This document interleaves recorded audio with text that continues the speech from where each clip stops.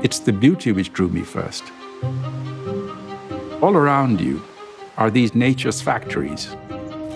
The birds which go and pollinate, uh, squirrels taking nuts and bearing them, and all the things under our ground. This bewildering tapestry of things that are happening, many of which are unobservable, invisible, and yet they are creating the atmosphere in which we humans can survive. But nature does not appear in economics. I mean, let's make that quite clear. My name is Partha Dasgupta.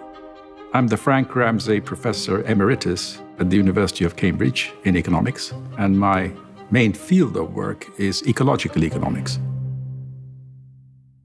When you read economic forecasts, they talk about investment in factories, employment rates, GDP growth. They never mention what's happening to the ecosystems.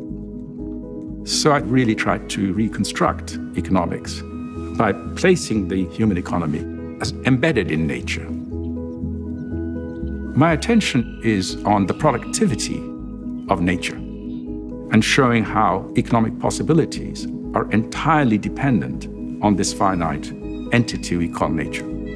Global demand for nature's goods and services exceed nature's ability to supply them on a sustainable basis. Mother Nature can be depreciated like that.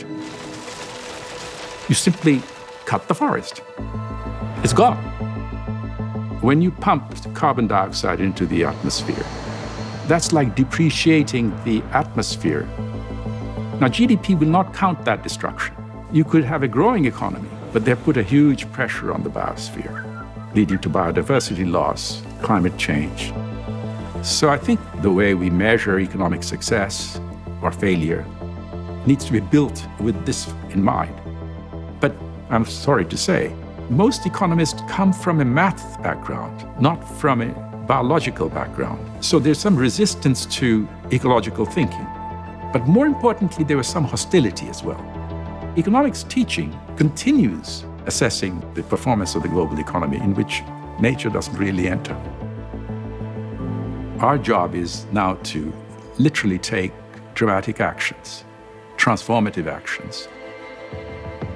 We should try and understand the world around us because if you actually see nature at work, you cannot but be in awe of it no matter with who you study, whether you study a household or a village or a town or a country or the world as a whole, you must accommodate the fact that the economy in question is surrounded by nature. And the message is we are trashing nature in a big way. And we can't continue doing that, and we'll be paying the price. If not us, our grandchildren, great grandchildren. Let's count nature in. Join Generation Restoration.